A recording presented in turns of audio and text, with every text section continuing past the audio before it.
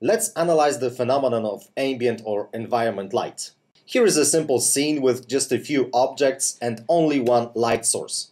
It is the sun lamp and as you can see some of the areas of our scene are completely in shadow.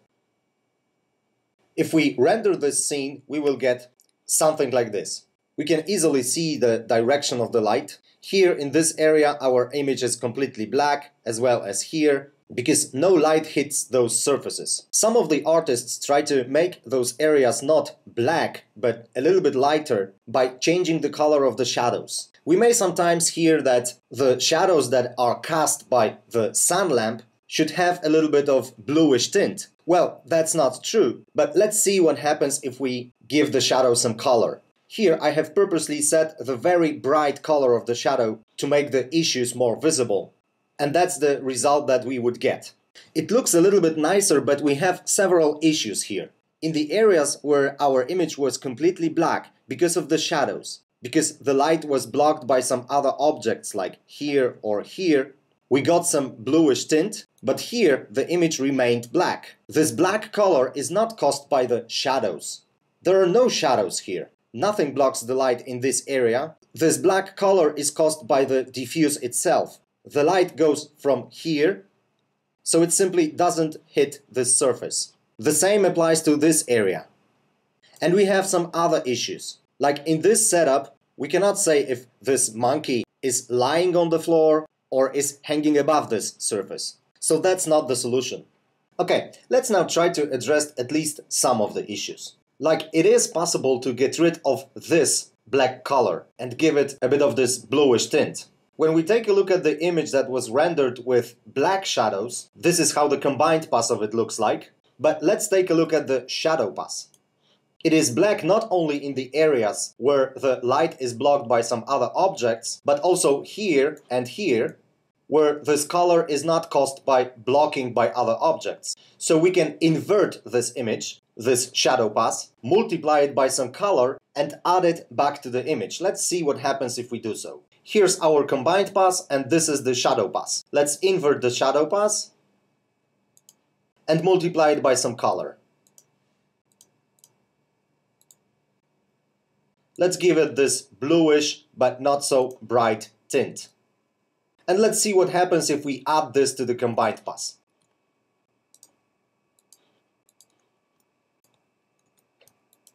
That's our result. It doesn't look very nice, but we can darken this color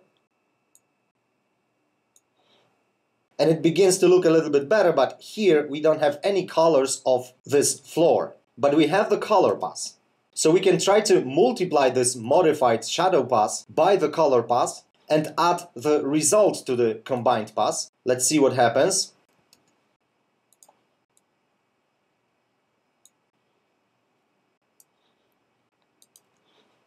So we regained some colors here. Let's make this color a little bit brighter and that's the result. But wait a minute, what happens to the mouth of the monkey? This area here is completely flat. We regained some of the color, but don't see any shapes here. So that's as well not the solution. Okay, so before I give you the proper solution, I will show you another wrong approach that can very often be seen. I have activated the ambient occlusion pass. It looks like this. Here we can very easily see the shapes. So maybe we could combine this one with this result and regain some of the shapes here. Let's see what happens if we simply multiply this result by ambient occlusion.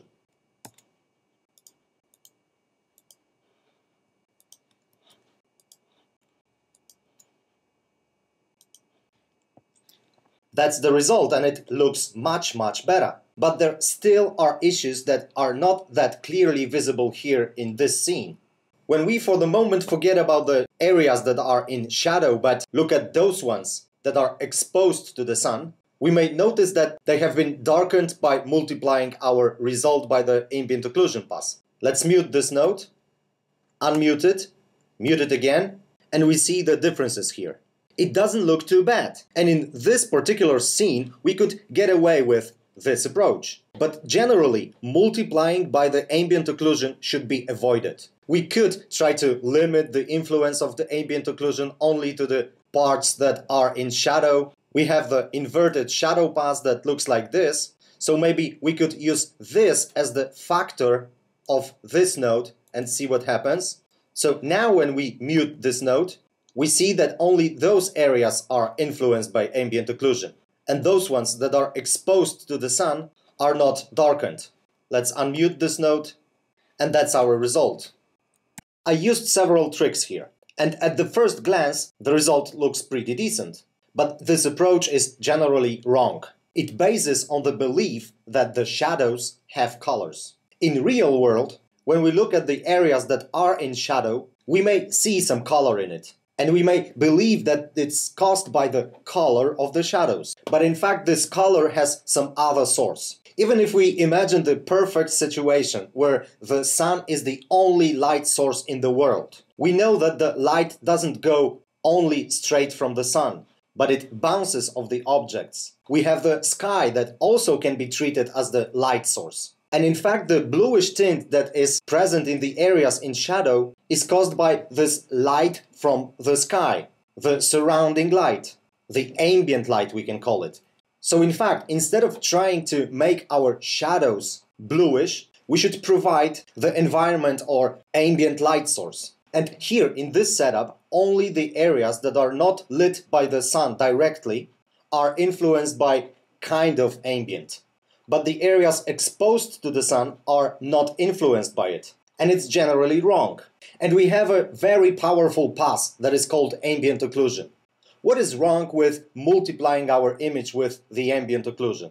Well, ambient occlusion, as the name says, is how the ambient is occluded by other objects. It shouldn't influence the direct light at all.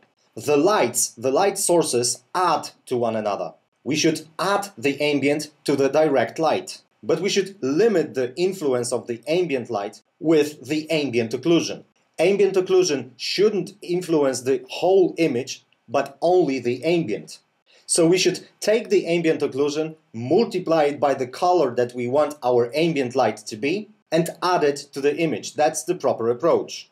So let's do it all properly we will only use the combined pass that in our case is lit only by the direct light. It looks like this. It doesn't have any ambient occlusion or environment lighting in it. And I will add the ambient light that I will give some color occluded by the ambient occlusion. So let's take the ambient occlusion and multiply it by some color. Or I should rather say, let's multiply the color of the ambient light by the ambient occlusion. It will give exactly the same result, but this better shows what we are actually doing. So when our ambient light is white and we multiply it by the ambient occlusion, it is equal to the ambient occlusion itself. But let's say that our ambient light should have some bluish tint. We should of course multiply one by the other. And now we can simply add it to the image.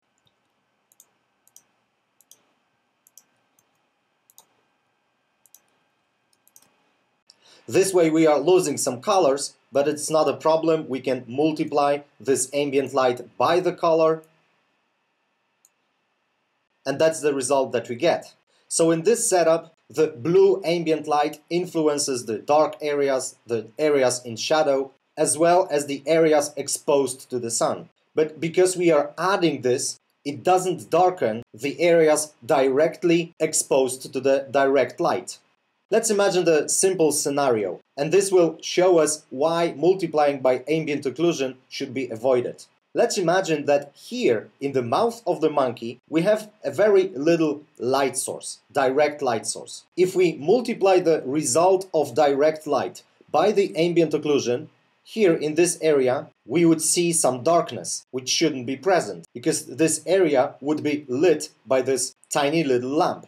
But when we use this approach, adding the ambient light or environment light to the result of direct light, we get the result that we want. There is some bluish tint here, here, and here, and of course in the areas in shadow, and we get much, much better feel.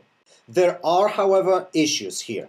We may clearly see that this monkey, the material of this monkey, have a bump map. Unfortunately, this bump is visible only in the areas that are lit by the direct light ambient light doesn't take it into account.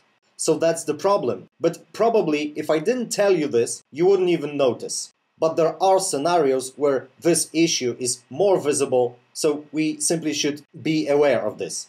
So if the ambient occlusion and environment lighting passes are excluded from our combined pass, we can easily create the ambient light of the color that we like. We have to multiply it by the ambient occlusion and we get the result like this. Then when we multiply it by the color pass, we get this and this can be easily added to the combined pass so that this is our result.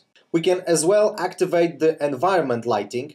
If we set this option to white, this will look exactly the same as the ambient occlusion, so it will be useless, but we can use the sky color or sky texture and in this case, as the environment lighting pass, we would get something like this.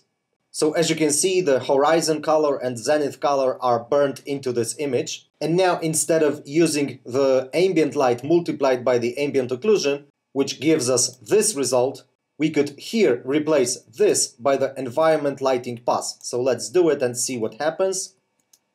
That's our result, a little bit different. And if we used indirect lighting pass, which in this case we didn't, because it requires approximate gather method, we would as well be able to mix it into the combined pass by multiplying it by the color pass and then adding to the image. It's that easy to mix those passes in only because we used the intensity of one here in the diffuse panel. If we used different values here, we would have to take it into account here in compositing. When we decide not to exclude ambient occlusion and environment lighting from our combined pass, I would recommend not to use the multiply blending mode for ambient occlusion because of the reasons that I explained a little bit earlier. If we use the add blending mode for ambient occlusion, it's as if we created the ambient light of the white color. If we mix those passes in here in compositing and exclude them from the combined pass, those factors and blending mode here don't matter. But in many cases we will be using our combined pass for other purposes and then it's good to set those things here properly.